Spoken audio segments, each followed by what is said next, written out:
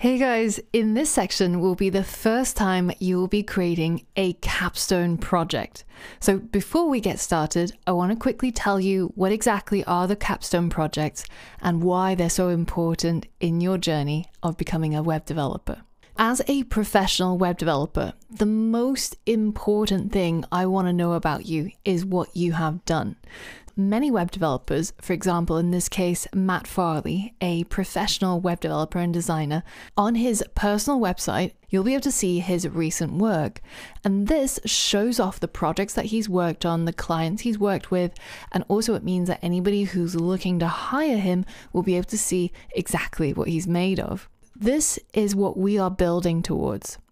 Now, whenever I interview web developers or other programmers for any sort of job, one of the most important thing I look for is their portfolio. What have they built? What does their code look like? What are they able to do? And this is a really important step in your evolution as a developer. You need to be able to show people what you're capable of, and what better way than to start building a portfolio previously you already come across GitHub and hopefully you've already got an account on there. And this is where we're going to be starting our portfolio, just like any other professional developer.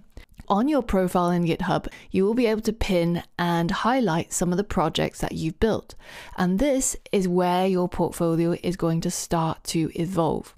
Now, another really neat thing about GitHub is you can see a developer's activity level. You can see how often they've been uploading stuff to GitHub as a proxy for how often they're working and writing code. So, this is another great way of telling how active a programmer is and how much they're practicing and polishing their skills. In the coming lessons, you're going to see an instruction for the capstone project. And the great thing about these capstone projects is I've created them so that they are perfectly suited for your current level. I know exactly what you've learned because I've just taught it to you, and the project specifications reflect this. So it should be doable at your level. Now, that doesn't mean it's not hard there will be difficulties that you'll encounter, and you will have things that you might want to look up on the internet. Maybe you'll need to look through the docs, and you'll probably struggle at some point along the way. That is the idea of the capstone projects. But in addition, in the instructions, you'll always see an example website that I've created to show you what it is you're aiming for. Now, the important thing here is you don't just straight up copy the example website because Remember, this course is taken by millions of people across the entire web, and I've often seen people apply to jobs under my friends' startups or other situations where I've seen in their portfolio projects that are clearly from a tutorial, and I know that because they're one of my tutorials. So keep this in mind when you're building your capstone project.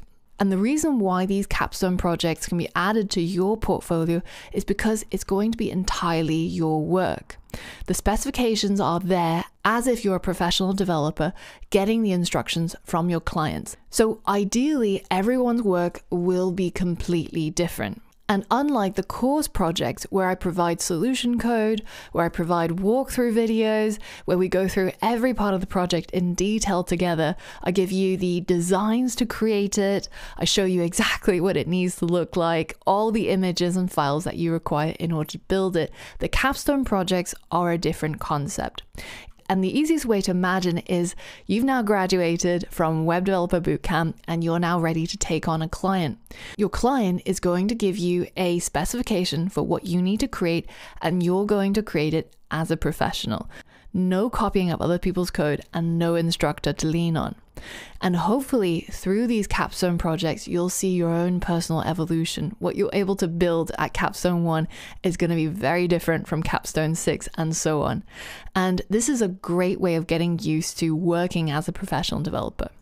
Now, if you don't ever want to get a job as a developer, then feel free to skip this module entirely and continue learning. It's only useful if you find it useful. It's not for my benefit.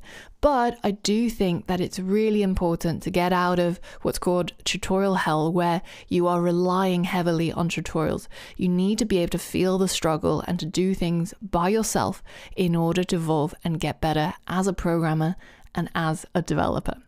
All right, enough said. It's time to move on to the next lesson and take a look at the instructions for your first capstone project. I hope you enjoy it and be sure to share your good work in the Q&A once you're done.